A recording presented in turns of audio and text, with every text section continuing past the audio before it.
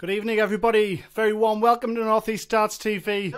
Tonight we've got Battle of Tyne and Wear. It's Saturday night at the Darts, and we've got the showpiece match from Tyne and Wear's Inter-Counties league that we run, and it's Super Mac Kevin McDine taking on John Kippen. Best of nine the format, and it was Kevin McDine who won the bullseye prior to going live. Could that be crucial That's how it is. That's what I'm saying, Davey. I'm top of the as the match develops? I'm ready when you are, Kev. Kevin of Wallsend, Super Mac, Yeah, and John I'm Kippen ready. of Gateshead. I'm looking where I put my dogs when I went for a drink.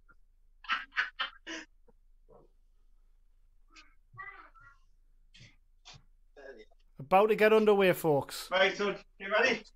Yeah, mate, all the best. All the best, bud. It's McDine's darts, and it's game on.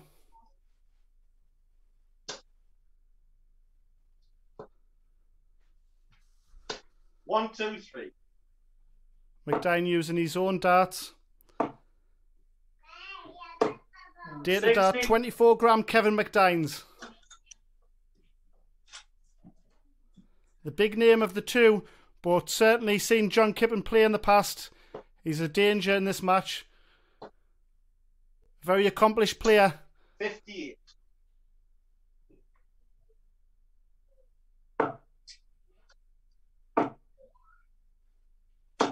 Oh, 41.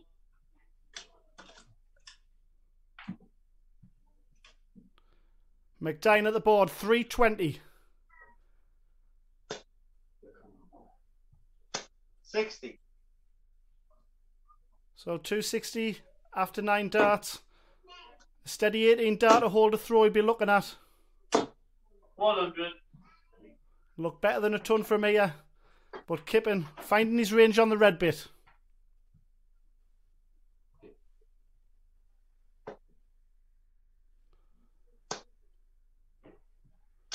One, four. Solid 140 there from McDine. Power scorer at his best. And so far in 2021, he has been, 45. like Kevin McDine esque, consistently inconsistent, but when he's good, he's very good.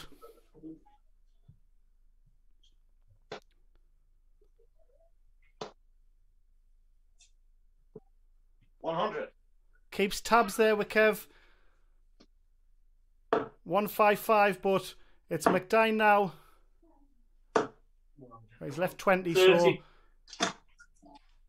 it's Kippen who doesn't really put pressure on that. So McDine with time on his side, double 10 to take the opening leg. Oh, that's good. Though. 16. It didn't bust there, so McDine confident at double two. But how much pressure will he be under? Because 30. Kippen back on 225 and he's still not on a finish, so this should be Super Mac's leg to wrap up. No score. And 21 darts thrown. He won't be bothered about that. It's just about getting off the mark.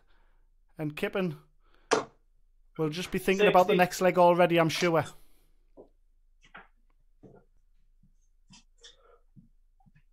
So double two. House of the Mad. Yay. Into. Yeah, that's takes the opening leg on the on the madhouse, and Kippen will look for a strong holder throw here to remain in this match. It's a best of nine, a sprint format, you could 70. say, and you can't afford to give someone with a prowess of Kevin McDine an early advantage. He's got to pressure him and some. One, two, three. Solid opening throw from both players. 59.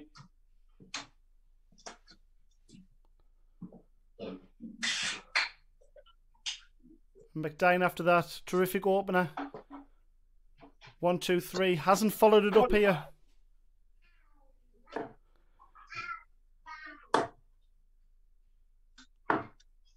Fifty-eight.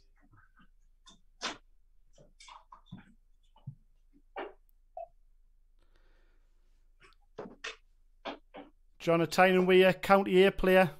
Very accomplished player, as we say. Certainly, at his best, he'll give McDine a good game here.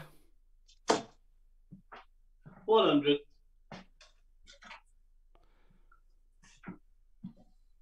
Early averages below their best. They've certainly got gears to go through. We had 43. As we know, averages don't win matches. It's all about getting the W.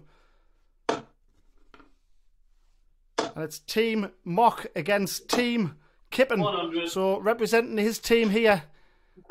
And Kevin McDine representing Team Mock. Dan Mock. One of the opening match of the night 44. in the Tyne and Wear division.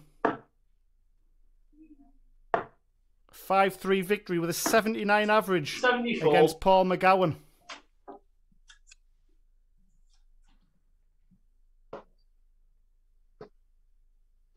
Twenty-six. And McDine not at the races here, so Kippen with time on his sides Game to on, level things up, and he's done just that. Level game, one's apiece. And we've got a game on our hands, folks.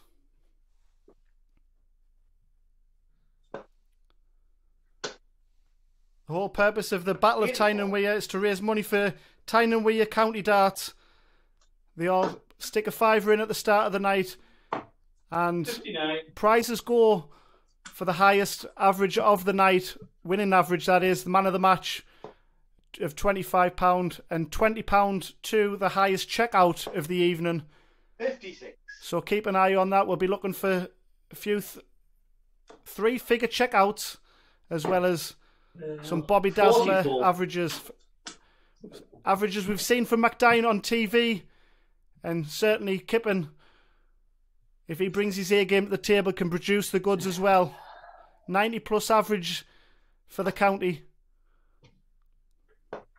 Ninety. Winner of the Gateshead Globe, Globe tournament, in which he beat Modern Amateur Darts' Northeast Regional 58. champion, Davy Prince, in that semi final. So he can mix it with the best in the Northeast. And he's doing so right now against McDine.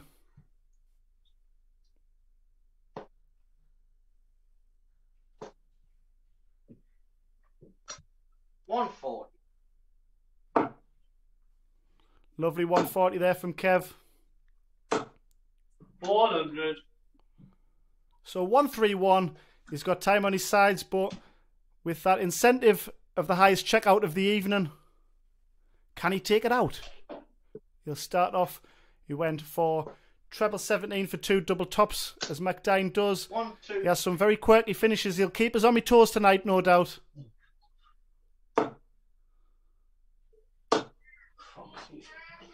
45. This is match 9 of 13, everybody. The showpiece match of the evening. Live on Northeast Darts TV. McDine wants double two once again. Inside. Secures the leg once again. 139. He didn't, so McDine will be back Yeah, for double four and he makes no mistake Yeah. this time. The flight was blocking the, that madhouse shot, but he made no mistake second time round. And it's a 2 1 advantage. All three legs at present going with throw. McDine and Kippen both sat on a 67 average. And the scoreline would suggest it's equally as tight.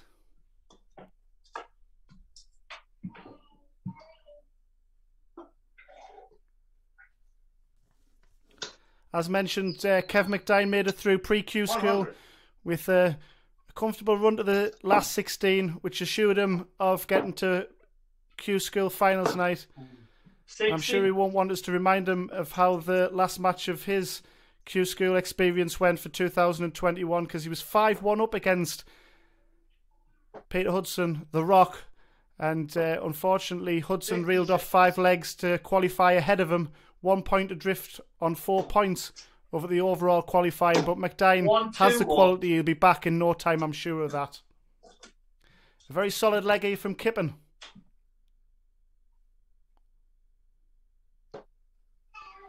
John doesn't like to play a lot of competition darts. He likes to wind down with a bit of horse racing and football bets. And the way that the amateur game's going with modern, modern amateur darts, 50. it's going to cater for everybody in terms of which level they'd like to reach or aspirations in the game. And the pub to pro, pub to pro format can apply, but also for the likes of Kevin McDine, it's a handy parachute, as mentioned, to help the players regain their status in the promised land back with a PDC Tour card. Kippen for 110. Stays up top for it. 100.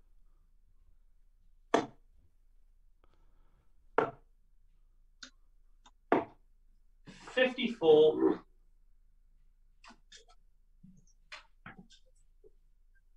Fifty-six if he returns. McDine on ninety-one here. Treble fourteen. Oh, he went the double route. I said Kevin would keep us on my toes with his scoring. It's a nice way to go if you're able to execute it, but a wasted dart from that point of view. And it's give Kippen a chance at two darts at double top to level things up. And unfortunately, he's unable to secure that. So McDine for a 3 1 advantage, 32 2 16s. Just inside.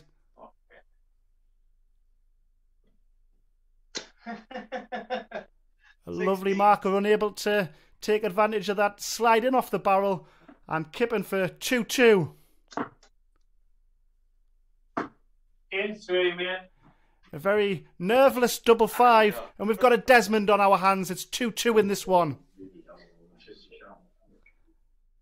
2 2 in the scoreline. Minimal margins in the averages at 67 and 66. This is going to go to the wire, folks. 60.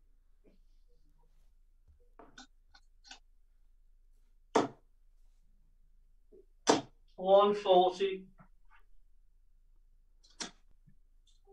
John Kippen also reached the final of the Horton Comrades competition prior to lockdown, where he got beat off Ryan Joyce in the final. 134. That was after he beat Princey in the semi final. So, as mentioned, he's certainly not afraid to mix it with the big boys, Sixty. which up in Tyne and Wear, they have such a competitive circuit that they've got on their hands, and they're only going to bring each other's games on fantastically well. 83. John was down prior to the lockdown at 32nd in the averages with Tyne and Wear. When you've got the likes of Ryan Joyce, Uh, unbelievable Jeff Murray.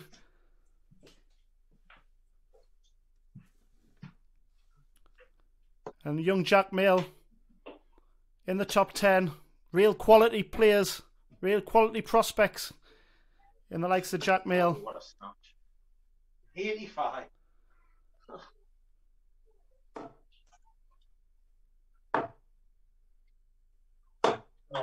Eighty-six. Great second dart, but the third one drifted into the treble three.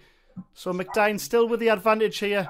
First pop at a double for a 139 checkout, unable to secure that on the first dart. So Kippen will be back for a 160 77. opportunity to take the lead for the first time. Sixty. 62 going for Kevin McDine. Will he go the 14s or the 10s route here? Sweat.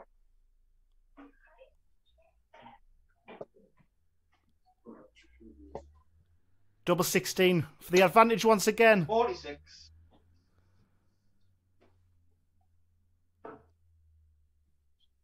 Yes, this certainly isn't uh, caviar McDine, but Sixty. doing enough to get his team the point at the minute. Yeah, one. And he takes Yeah. it out for a 19 dart leg on double eight. He'd be pleased with that to get rid of that in first dart. And he's two legs away from the match. Kippen will look to keep tabs and hold his throw once again. Always 41. chasing, but always responding.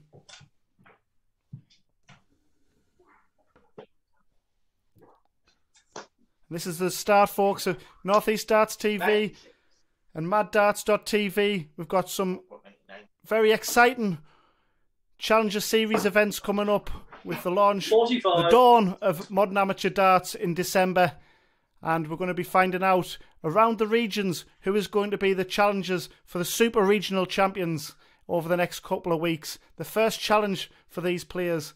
And obviously, that can lead to bigger and better things with our national 93. championship opportunities with three defences we'll give the opportunity to take on an English champion. And then, of course, up the pyramid, we've got the European champion and the World Championship. The belts will be on the line.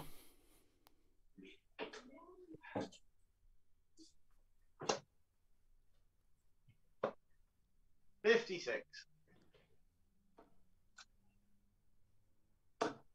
Finds the lipstick, does Kippen. 100. And McDine will look to kick on here and break. Forty-three. Only 43, so gives Kippen a chance, an opportunity. Can he take advantage of it? Needs a treble. 100. finds the treble. Averages creeping up into the 70s for McDine Ninety-nine. as we reach the business end of the match. McDine, who also featured at the recent UK Open 60. in Milton Keynes at the Marshalls Arena, where he won his first match against Keelan Keir before going out second round to Rowby John Rodriguez 6 3. A player that has come back into a bit of form, unfortunately, for Kevin. A tournament which has not been one of his greater tournaments on TV, anywhere. Of course, Yeah, and one. we'll just watch this double land. Yeah, well. Um, and it's McDine who goes one away from the match here. He's on the hill. Yes, McDine, of course, made his debut in 2007, where I was his lucky driver as we went to Mil- as we went to Wolverhampton, the Aldersley Arena. And he br- breezed through the field there, along with a certain Chris Mason that day. Very impressive, also. Oh, 43. Reached the semi final on TV debut with some impressive displays. The young kid on the block at the time certainly got the talent to get back there if he gets his head in the right place, which I'm sure he's on doing that now. No, 26. Back to back 140s, McDine, as he looks to secure with the match at this visit. And he's back in the red bit again. He's on an 11 dart finish to win the match. And Kippen way back. 60.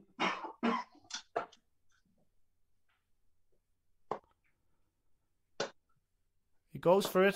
Double 13 for a 12 dart leg. Hit the treble 12. And 13 when he returns. Back the up and down. A very professional performance here from Kevin. Really pounced on his opponent when he sensed a bit of weakness. And McDine Rubbish. loves double four as well, and he struggled on that tonight, chasing his doubles on the, the lower echelon of the doubles, twos, fours, and ones. 96. So McDine double two for the match and a 5 2 victory. Yay, two. Game shot on the match. Yeah, Kevin mate. McDine wins at 5 2. A 73.89 Well played, all average. And it's Team Mock who adds a point to the tally in the Tyne and Wear. Generally Battle. in late. I could wish you ill well, but I'm not. And as we look at that, it's the 140s that uh, seem to be the difference in the match. Five 140s to one. It really was power scoring there from Kevin as the latter stages developed. But uh, John Kippen, like I say, a very quality, a talented player. McDine certainly uh, not played his A game, but it was very much enough to take the match there. Congratulations to Kevin, and we'll look forward to seeing you, no doubt, in uh, the Northeast Challenger Series events uh, and, of course, the Tyne and Wear events. John, excellent stuff also. Thank you very much for your time, everybody. We look forward to seeing you all soon. Thank you very much. I hope you've enjoyed it as much as me. Good night and God bless.